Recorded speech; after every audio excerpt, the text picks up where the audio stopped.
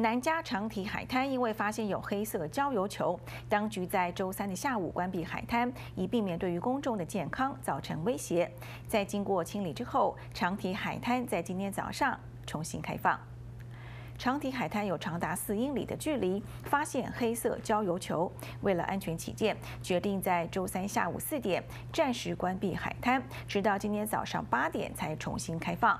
不过，长堤市消防局提醒民众，如果这段时间来到海滩游玩，最好还是谨慎一些。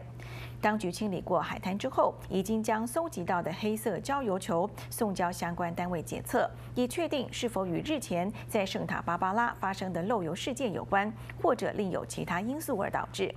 当局也呼吁民众，若在海滩看到了任何油污或者相关的不寻常现象，请拨打八零零四二四八八零二专线报告。